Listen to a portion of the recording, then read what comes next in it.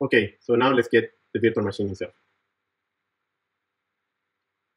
We go to the virtual machine menu, and at the end is the 13 TeV Atlas Open Data virtual machine. Here you will find this uh, big button where you can download this file. This file is something like a 3.8 gigabyte size, let's a big file, let's say. Um, the suggestion, let's say the, the, recommendation is to have at least 10 gigabytes free in your computer, so you are able to handle this virtual machine in a in a nice way, let's say, the virtual machine and the real one. So let's start the download of this one. And in the meantime, I will explain you a couple of, of characteristics of, of this, uh, of this virtual machine. So we'll say yes. And we start to download the file. Okay, once again, depends on your connection, depends on of your hardware. This can take a few minutes, 10 minutes, 15 minutes, so just um, be patient. The other thing that is very important also is that once you get it, for example, once you get it uh, in your computer, you can always carry uh, the virtual machine in a pen drive also. Of course, we distribute to the internet, but once you imagine that you have a classroom, 10 people, 20 people there, you can easily just copy the file into different uh, units like, like this one and carry the, the file completely offline. Also, for example, the VirtualBox application, so you don't need to, to request to each of your students or each of your uh, trainees at that moment to, to get the file from the internet, but to copy from a, from a storage like a USB drive. So, okay, this is downloading. Um, let me talk about a little bit uh, regarding to the virtual machine. So this is an, uh, a Linux, an Ubuntu installation. I have a root installation also. Um, the version is 6.18 with configuration all. Also have Jupyter, of course. This is what will this is why we want this virtual machine mainly. Uh, we have four kernels there. You can use Bash, Python 2, Python 3, and root C++ kernels. We have also an installation of TensorFlow for some exercise that you may want to uh, develop there, and demos of the examples, like notebooks and the analysis framework that we already have there. So again, I will speed up a little bit this so you can you can see how to start the virtual machine and start to work. Okay, now we have the OVA file, so the virtual machine file. We simply need to click this, and because we already have VirtualBox, so VirtualBox will understand that this file has to be open with this application. Okay, you don't need to do anything else. Just simply click on there, and you will see the importation um, process. It will essentially show you right now what's the, the, virtual machine about. So this is the version 4 that we have um, for the uh, 13, 13 TeV release. We this is, once again an Ubuntu machine. We'll use something like a 3 gigabytes for your computer and one single CPU. Okay, so we simply say import.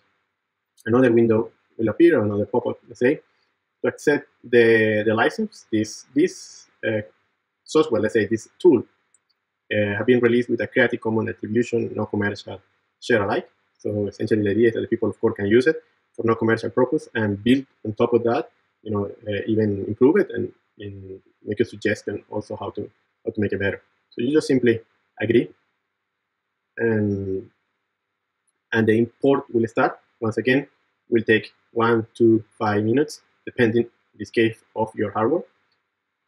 Um, but this is a single time process. So once again, we just we have to do this only once. Once this is done, the next time that we use our virtual machine, we don't need to do um, this process. Of course, it will be there for us. Okay, once the machine is ready, imported, we simply have to start the machine or double click here, simply with this star arrow on the top. Let's do that. Once again, it will open uh, an Ubuntu machine, but for this video, we simply will go and see how to use this virtual machine as our own server, our own Jupyter server for um, obviously executing Jupyter Notebook, but not only, but also to interact with roots, with the analysis framework, um, with the, the rest of the application that we put here through your browser, okay? So again, our virtual machine in this case will be our server and we connect our server through the, the browser.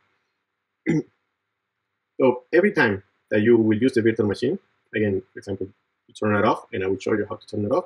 So tomorrow you come back to work, essentially you will see the same, your virtual box, very probably only this virtual machine.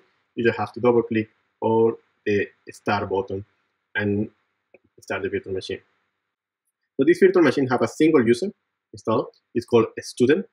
For all the purpose of password, eh, that means the root password, the password of the student user also is root, R-O-O-T. For, again, every time that you find that you need a password, this is the password in all the cases. So when the machine finished to start, okay, we will uh, come back to our browser. So the browser that we use to download the virtual machine and to download VirtualBox, okay? No inside the virtual machine. Simply open a new tab in this browser, and we will tap, we will type, sorry, localhost 2.8888. Of course, it's not the first time I do this here, so localhost 8888, and we'll be connected now to our virtual machine. Okay, the first time, and once again, only the first time that you install a virtual machine, it will appear this um, interface where asking you for a password. So as I already mentioned, the password here will be root, so R O O T, no capital letters, and login.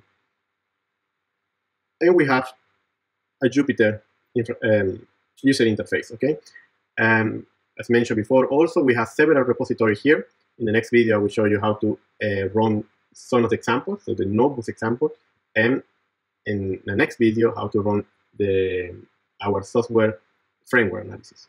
So in this case, we simply go through one of these to show you how it works.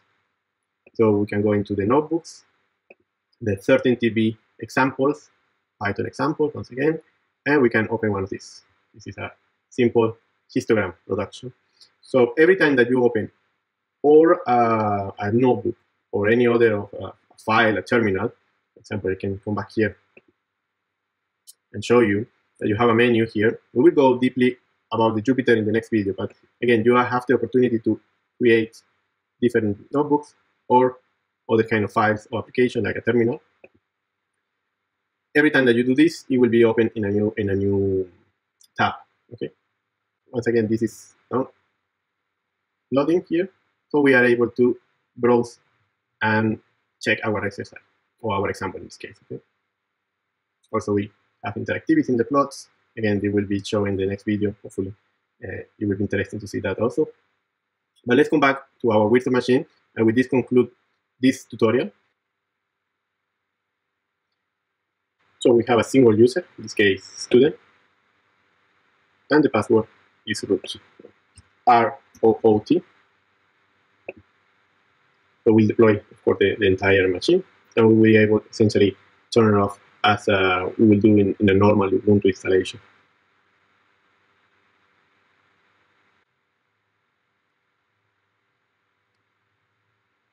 Okay, we have here.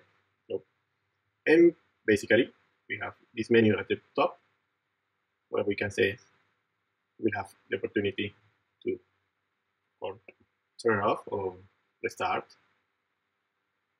really to cancel. But you can simply, once you finish your work, when you, you know, end of the day, end of the class, you can keep your, keep your virtual machine, obviously, but you turn it off so all the resources that the virtual machine was using from your real computer can be put back to you so you can do any other of your activities there.